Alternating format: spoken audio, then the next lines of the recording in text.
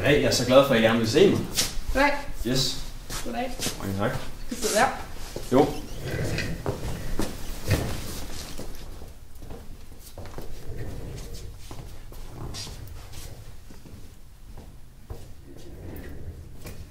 Ja, jeg har også taget øh, kontrakten her med i dag, som jeg havde sendt til jer tidligere, for at I kunne øh, kigge den igennem ordentligt.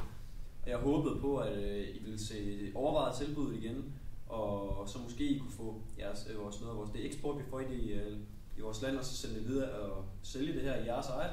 Så hvis I vil se nærmere på den.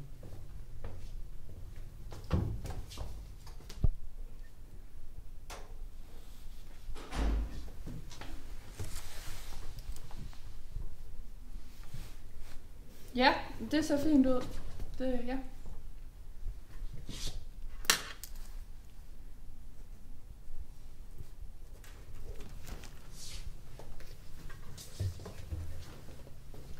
Super. I gør det helt rigtigt her, det kan jeg godt sige, det er. Hvad skal vi så kalde det for i dag? Ja, det synes jeg. Yes.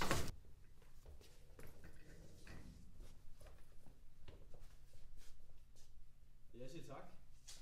Ja.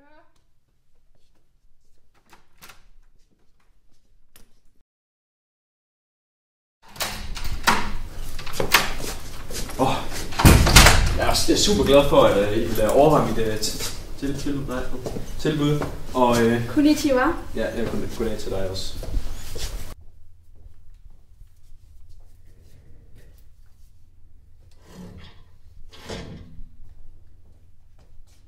Jeg får så lov til at sidde her.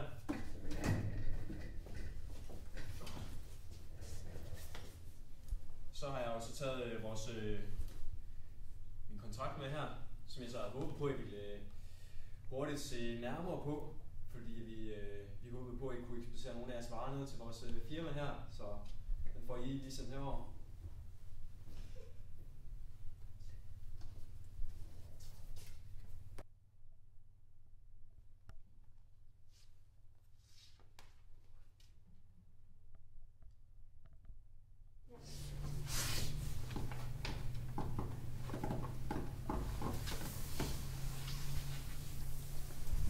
Jeg kunne jo øh, gentage forslaget for øh, tilbuddet også til jer igen, hvis det skulle være.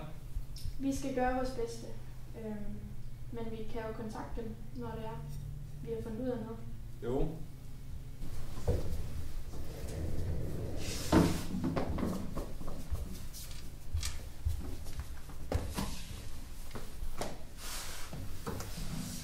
Er genial.